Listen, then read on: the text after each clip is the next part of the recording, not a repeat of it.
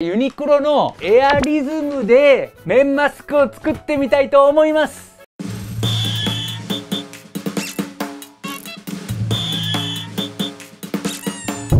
百秋武道具店の動画。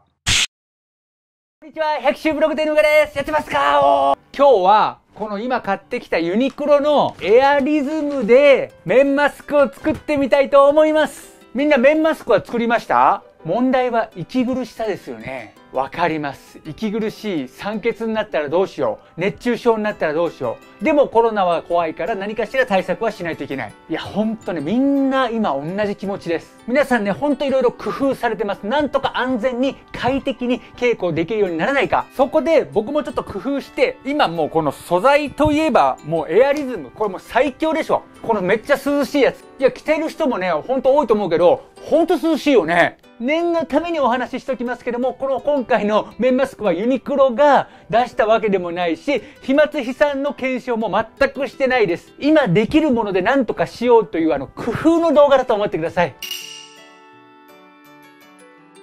この生地、この快適な涼しい生地で面マスク作るなんてすごくない？まあ、真っ先に気になるのが値段ですよね。値段は今ユニクロ行って買ってきたら1枚790円でした。これでまあマスクが1つは取りたい。あ、ごめん、今見たら、本体価格990円で、セールだったから790円だ。これで面マスクがまあ何枚取れるかなってとこですよね。これで最先端の生地で面マスクを作りたいと思います。まずは風合い。極細繊維で肌を滑るような滑らかな肌触り。肌を滑るですよ。肌滑る。こう。うーん、滑る。次は吸湿、放出。呼吸する繊維が衣服内を除湿するから、いつもさらっと快適ってこれさ、すごくね？次はドライ。汗をかいてもすぐに乾くので、さらっとした肌触りが続きます。それを、これが湿ってくるとペタってくっついちゃうじゃない。これがうまくいけるかもしんない。次は、接触冷感。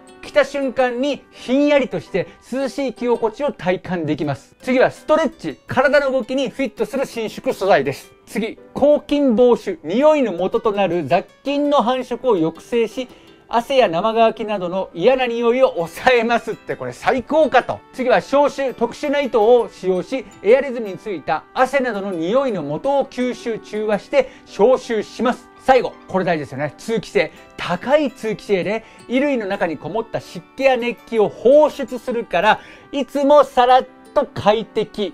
どうよ、これ。これ今すぐ全部面マスクに欲しいわ。作り方はめっちゃ適当です。どういうもんなのかな？おー、こういこっか。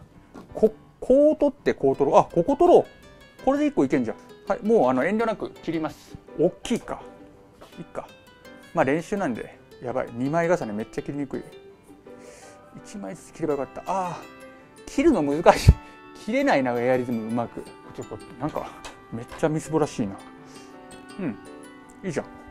で、これに紐をつければいいのか。半分のサイズでいいじゃん。この大きさで良さそう。そうすると、エアリズムの欠点、切りにくい。できました。あ、でいいじゃん。これで、この2枚。これに紐通せばいいんだ。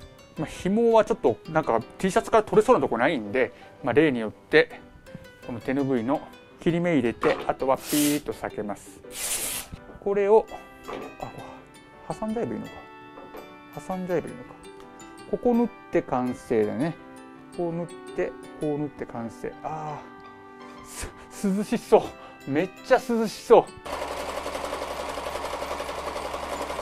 はい完成一丁上がりはい。というわけでできました。今回はこれ実験だからもう適当ね。適当。ちょっとつけてみます。あれ？あれれ？あ、これダメだわ。ダメ あの、みんなやめてください。サラサラ感はあるけど、どうなんだろうめっちゃ息しにくい気がするんだけど。だけど、鼻の穴にくっついて、サラサラすぎて、なんか、息苦しい。意外だったな。ちょっと麺持ってこよう。これで結局面をかぶったらどうなるかだよね。いや、これ良くないわ。これ良くない。まさかのだけど。よいしょ。なんかね、良くない。良くない。みんなやめてください。くっつきます。くっついて息苦しい。だからやっぱりね、手拭いがいいっていう検証結果になりました。なんだ、いけると思ったのになさっきまでの気持ちどうしてくれんのよ、これ。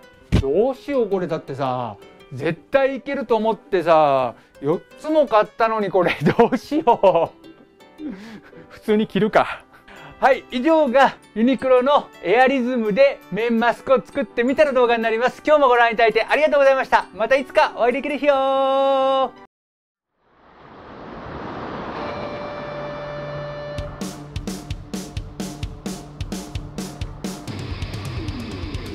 まだ当店の無料カタログを見たことがない人、防具を買う買わないなんて小さいことは関係ないです。ぜひご請求ください。